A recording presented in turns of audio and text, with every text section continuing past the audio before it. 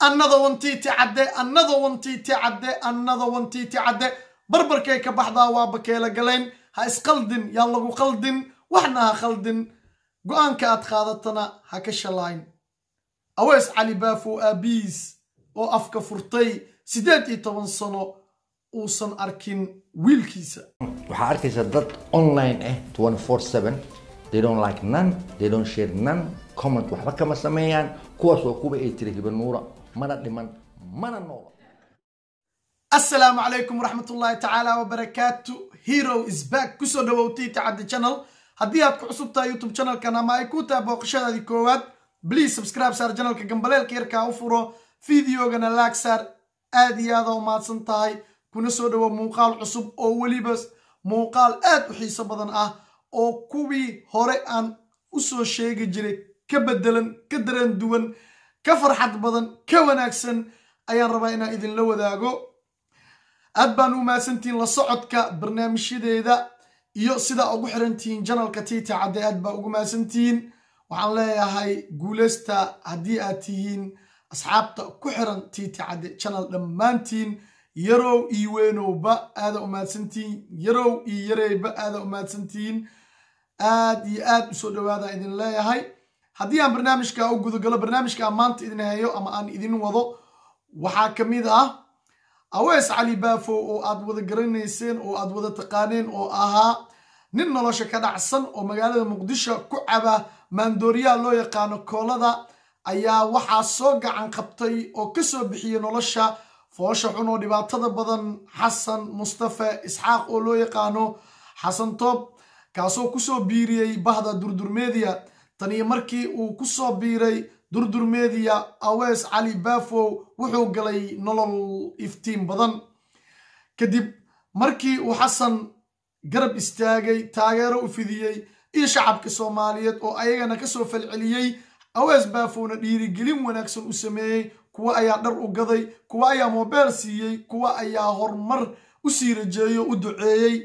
Kadib intaa markii ay dhacday ayaa tv-ga dalsan wuxuu wareysi xiiso badan ka sameeyey ama warbixin xasaasiya aweys cali baafow kadib markii uu dalsanna baahiyey oo baafiyey aweys cali baafow oo noloshiisii la bedelay ayaa waxaa aad iyo aad arrinkaasi u soo dhoweeyey oo ku farxay aabbihii dhalay aweys cali baafow oo muddo siddeed iyo toban sano ugu yaraan aanan is arkin ismaqlin barnaamijka ayaanu ku faahfaahin doonnaa ilaa fool ku taal dhegna dhafoor. Barnaamijka aan u sii gudagalo ilaa arka wareysigii qiimaha badnaa ee uu bixiyey aabbihii dhalay aweys cali baafow iyo xaqiiqda dhabta ah ee aweys cali baafow iyo hooyadiisii aweys cali baafow oo isku dishay xabsi ku yaalla dalka yemen.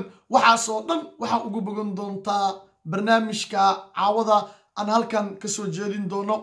Aan u gudagala barnaamijka ila arag oo ila daawo aweys cali baafow aabbihiisa oo hadlaya. Adiga abees hadda sideed iyo toban sano toddoba iyo toban sano waa kala maqan oo indha aan saarin mar waa layiri madfaca ku dhacay.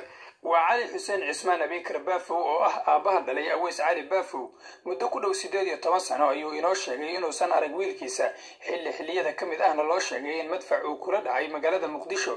Xilliyadii dagaaladu ay ka socdeen magaalada. Ayaa ku soo waca haddii wixii ka bilaawad kule waa iska waraanayna anaa ku waca aad macaanaye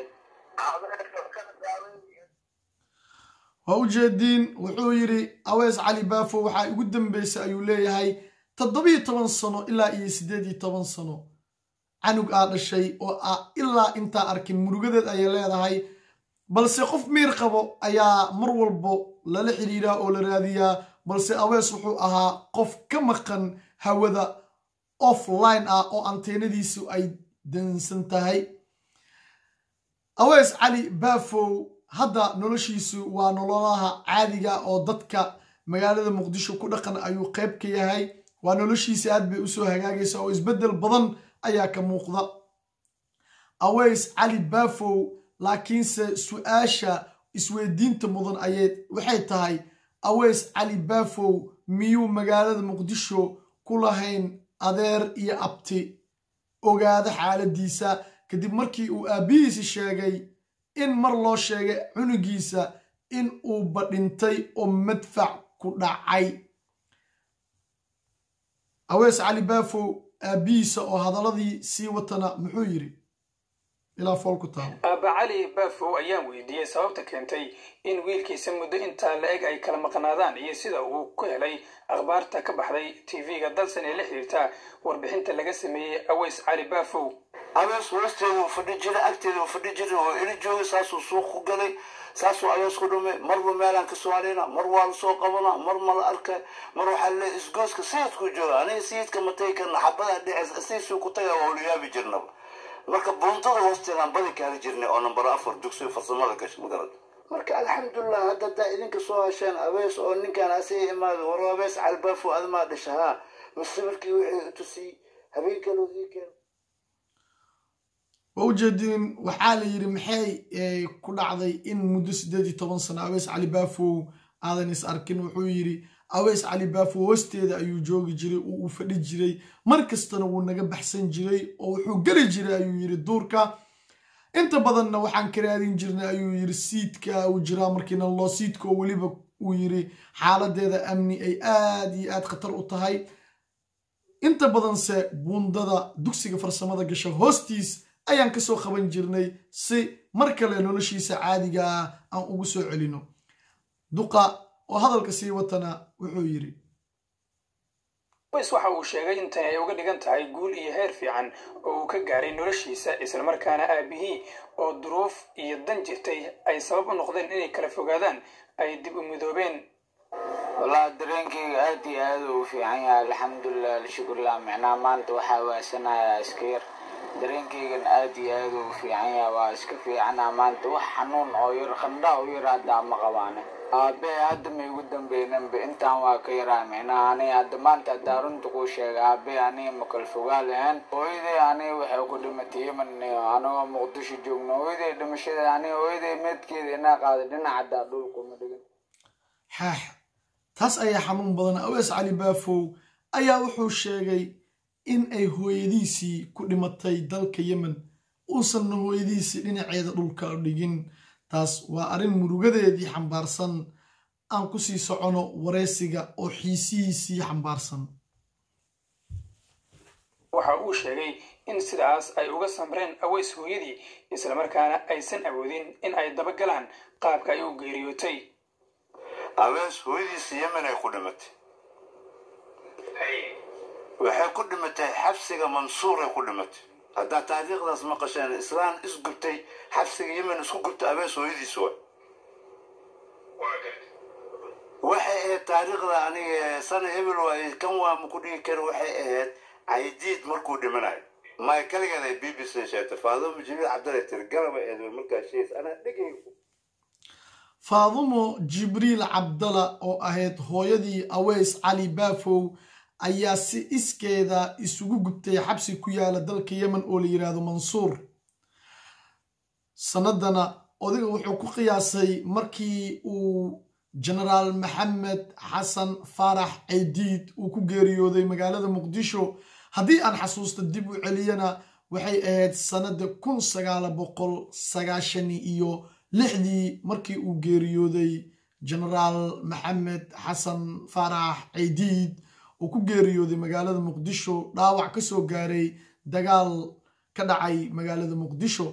Sanadaasna ayay ku beegan tahay. Markii ay aweys cali baafow hooyadii si iskeeda isugu gubtay xabsi ku yaalla dalka yemen oo la yiraahdo mansuur. Sababta cidna ma garan karto ayuu leeyahay.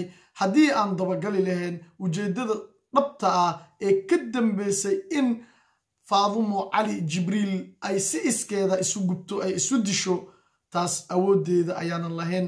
Qof kasta oo soomaaliya adduunkan ayuu ku dayacan yahay.